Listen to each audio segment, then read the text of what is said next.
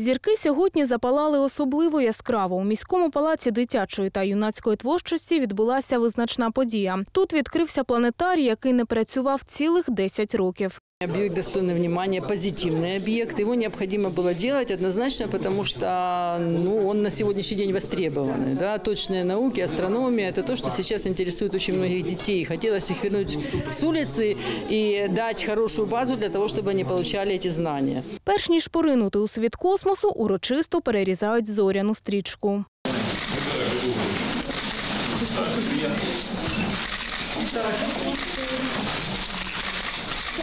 вже за мить у приміщенні планетарію гасне світло і починається сферичний кіносеанс. За допомогою спеціального обладнання зображення проєктуються на купол. Зручно влаштувавшись на м'яких кріслах, діти та дорослі захопленням спостерігають за космічними об'єктами.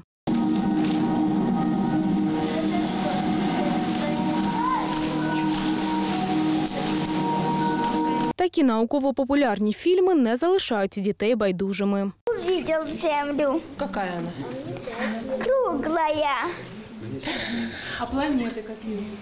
Мне не понравились. Мне больше всего нравится Марс, потому что я хочу на него полететь. Всі, хто марять зірками і космосом, вже скоро зможуть відвідувати астрономічний гурток. Керувати ним буде Євген Петриченко. Із зоряним небом чоловік буквально на ти. На відкритті планетарію він презентував телескопи, які сконструював власноруч. Обіцяє, запоріжці тут точно не нудьгуватимуть. Планетарий будет рассчитан не только э, на школьников, он будет рассчитан, э, пробная группа будет для маленьких детей от 6 до 12 лет. Кроме этого, мы с удовольствием как бы пригласим всех взрослых, которые будут, э, допустим, какой-то проявлять интерес, захотят э, ознакомиться с работой планетария, посмотреть сферическое кино. Відкриття планетарію стало можливим завдяки конкурсу соціальних ініціатив Ми це місто, який проводить комбінат Запоріжсталь. Проект отримав грант у 80 тисяч гривень. Очень э, радует, что есть инициативные люди в нашем городе, которые инициируют такие проекты. И комбинат «Запорожсталь» в рамках э, социальной программы э, «Мы – это город» прислушался. И экспертный совет принял, я считаю, очень правильное решение выделить средства на восстановление этого планетария.